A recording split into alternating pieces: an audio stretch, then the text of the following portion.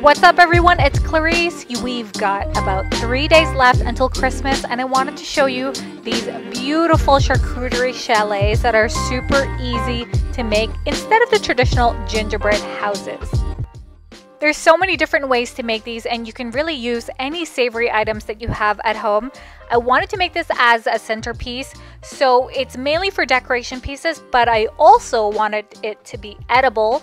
I found this gingerbread box from the Dollar Tree, and then I just got a whole bunch of biscuits, pretzels, I got some pepperoni and the main icing for this is going to just be cream cheese. But again, you can all modify it to whatever you want.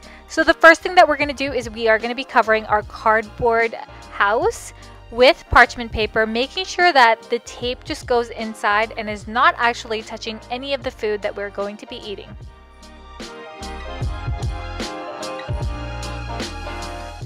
Once you've done the top, go ahead and do the actual box itself. That one's a little bit more easier than the roof part, but this is how it's going to look.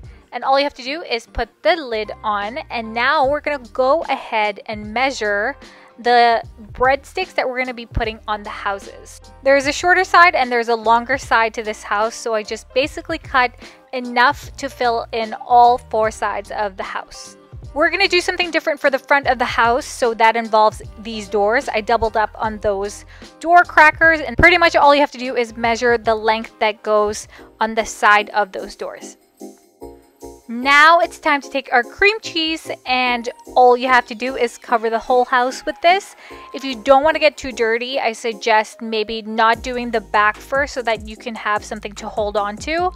But you can also use gloves. This is probably really good if you are especially going to be sharing with other people so that it's a little bit more sanitary. But this is how it looks when it's done. And now we just have to put all of our log pieces that we have cut up. Just a side note, I found these long crackers in the Italian aisle, so if you're actually looking for them and they're not in the actual cracker section, they may be located somewhere else. You can also use pretzel rods, which I didn't find, but that's the thicker pretzels, and those make for really nice log-looking charcuterie cabins. For the roof, I went with pepperoni. Again, you can all use whatever type of deli meat you want. You can also use vegetables or even some types of cheeses, but I just went with the pepperoni because I really like the texture of this.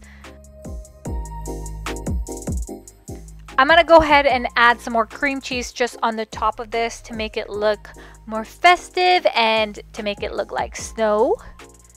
For the top part of our front of the house, I'm just going to be cutting some little rectangles out of these pepperonis and those are going to act like little bricks. Look how cute they are. It actually kind of looks like bricks. It's seriously amazing.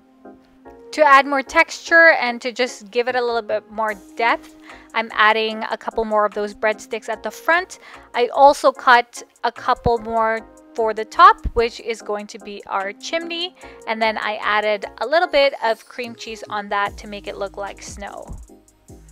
So it's not going to be perfect. It's not going to be flushed. You will have some gaps in between the houses, but you can also add these little pretzels that I just got from the dollar store.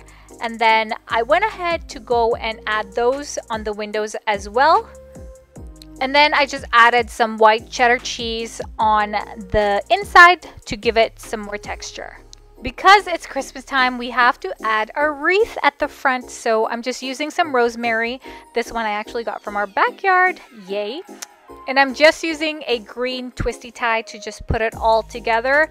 And then I'm just going to give this guy a little bit of a haircut just so it's not lopsided and it's more circular looking. I actually took some red peppers and just cut little circles out of them just to give it some color and then I just stuck some cream cheese on that. And then all you have to do is put this at the front and it looks so beautiful and gorgeous And we're actually done with the actual chalet part of our DIY. And so what you want to do is just put this on a cheese board and just create magic around the chalet, basically making it look like an actual log house cabin with some snowmen, some pathways, and even add some trees just like this so surrounding the chalet is where you would put your other deli meats, vegetables, your other cheeses. If you did want to make your chalet all edible, then you can go ahead and maybe get a big loaf of bread and shape it into a house. But I'm actually super in love with the way this one turned out. Aren't these just super cute? I'm so in love with it. Not only does it look good, but it could also taste really good as well. It's a great activity to do with some friends. If you enjoyed this DIY, don't forget to give it a big like. Also, don't forget to comment down below and let me know what you think. I hope you all have a very Merry Christmas and I will see you in the next video. Take care!